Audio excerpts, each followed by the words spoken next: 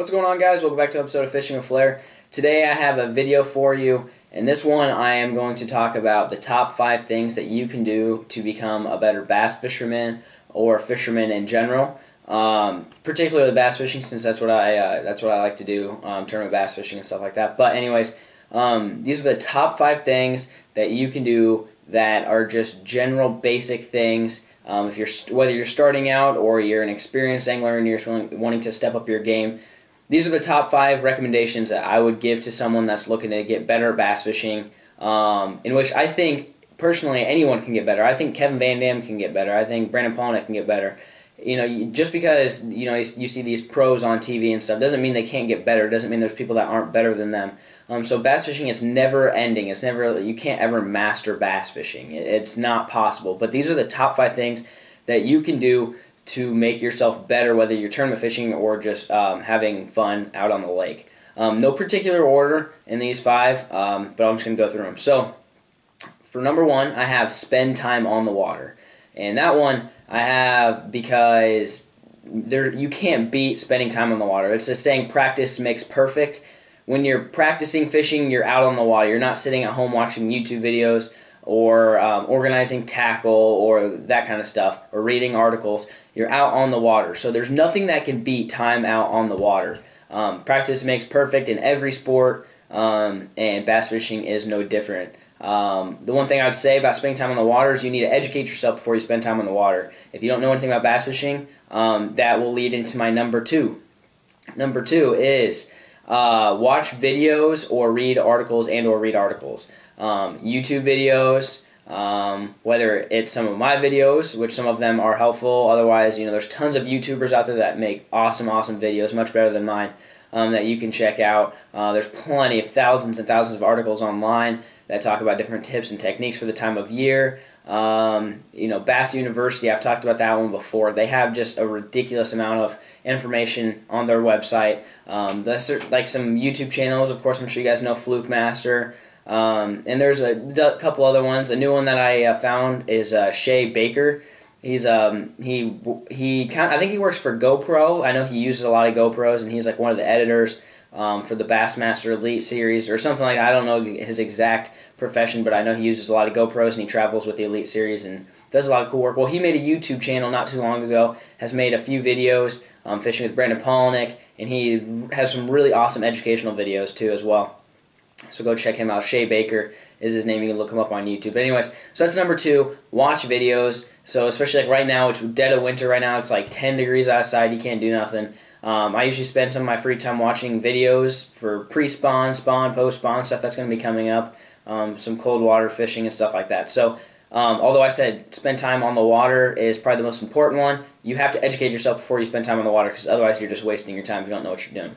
Um, number three surround yourself with people who are better than you. Um, I can't stress that enough. That you know, as much as as much fun as it is to win tournaments, I love winning tournaments just as much as the next you know competitive bass angler. But here's the deal: if you join a bass club or you're in a high school bass fishing team, and let's say you're the best kid on the team or the best guy on the team, and you win every single tournament you're not going to get any better um, just by winning tournaments. Yeah, you might learn a little bit on that, you know, the eight-hour window that you're on the water for that tournament, but you're not going to learn anything from any of the guys. If you, I mean, bass fishing a little different. I would never. I don't, think I've ever seen a scenario where some dude just dominates this uh, the trail. But what I'm saying is, I like to join. Like I've joined a couple of adult bass fishing clubs in which 90% of the guys know more than me about bass fishing. They're all been doing it for years and years and years. So, although I go to tournaments, you know, a couple tournaments a month, and I usually get my butt handed to me, never even come close to winning on the majority of them, I get to come home after the tournament and sit down and think, what did I learn today, and what can I change for the next tournament, and constantly evolve um, the stuff that I know. So, surround yourself with people that are better than you.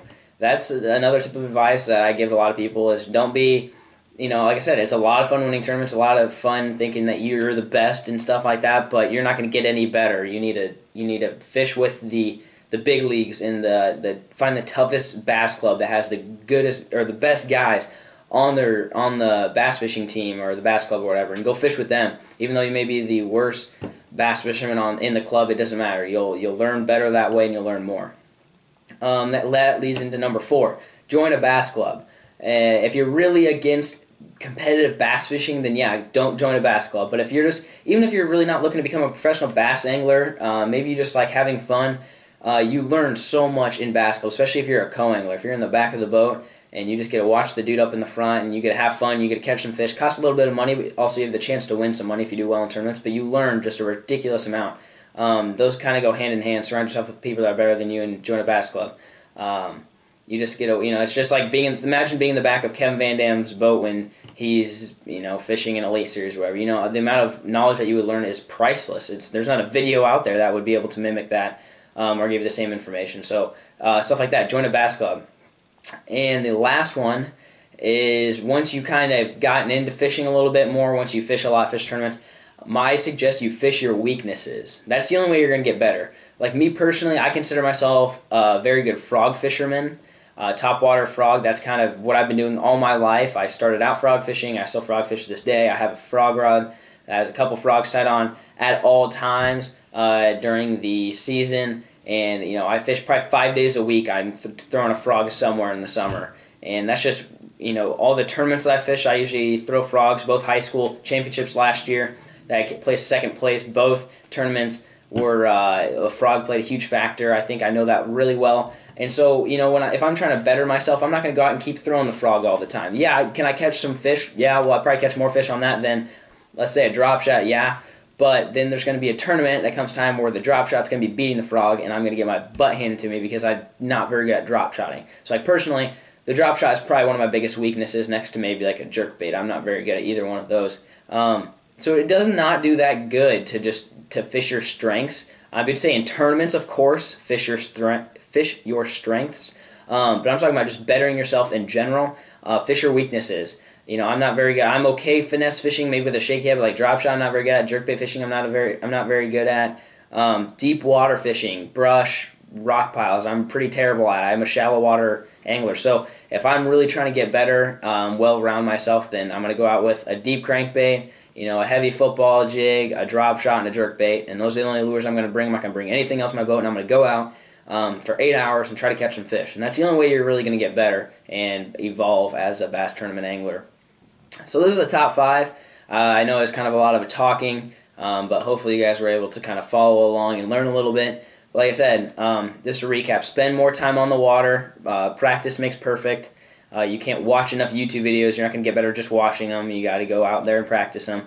Surround yourself with people that are better than you. Go join a bass club um, with you know some of the best guys that you can find, and go fish with them, fish alongside them, ask them questions, and gain knowledge that way. Fish your weaknesses.